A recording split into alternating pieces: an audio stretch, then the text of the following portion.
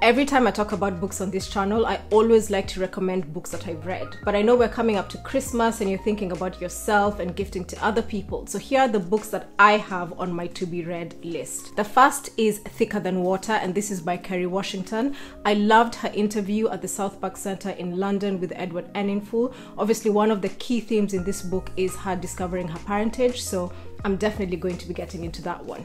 The second one is An Urgent Life by Bozoma St. John. I have loved her for a long time. I've followed her career from Apple to Uber and then to Endeavor. I feel like I know her story, but there's always something to be gained in reading the book. The third is fiction. It's In Every Mirror She's Black by Lola Akinmade Akerstrom. I've talked about her second book in another video, but I loved it so much that I immediately bought her first.